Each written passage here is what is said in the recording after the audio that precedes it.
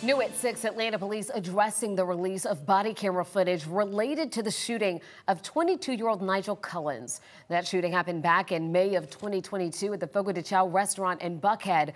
Cullins' family says officers used excessive force and have since filed a federal lawsuit against the department and the city. In the video, we can hear the staff telling officers Cullins was at the bar and drinking alcohol. Officers approach Cullins and he immediately drops to the ground. They then ask him to put his hands on his head. We can hear Cullins yelling stop and trying to get away. That's when he's tased. Surveillance and body camera video show officers shooting Cullins 10 times after they say he fired a shot and hit the security guard trying to take him down. We asked Atlanta Police Chief Darin Schierbaum why the video was released two years after Cullins' death.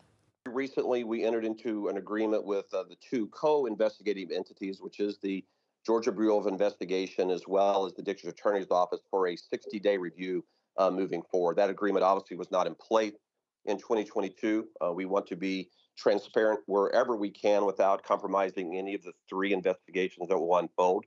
So moving forward, that is the guidelines we will be using. The chief also said the officers have gone through mental health training. We'll have much more on that tonight on 11 Alive News at 11. Earlier this week, Cullins' family spoke out after they saw the body camera footage. You can hear what they had to say by searching Cullins on our website, 11alive.com.